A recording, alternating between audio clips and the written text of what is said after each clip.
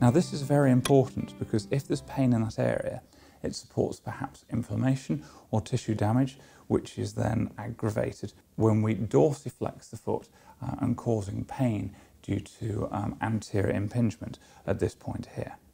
And to keep you in that position, I'm going to move your foot up, just going to look at that source of pain again. So move your foot down. Is that causing discomfort? No. Okay, so no discomfort at all with that. No. Okay, I'm going to go forwards. Any discomfort at all with that? No. Good. Any discomfort here? Yes! Yes. Yes. Okay.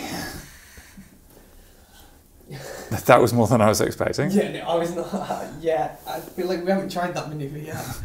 Okay, well, we have done a couple of times. Have we? Yes. Oh, God. Okay. To try, try that again and I won't push you so far. So I'm just going to push down again. Is that hurting? A little bit. Okay. And if we go back. Yeah, that's fine. Okay. Uh, if you can sit up for me. So we've clearly got some discomfort on that right leg. Yeah. Um, I think we probably need to get a scan or uh, to work out what's going on with that.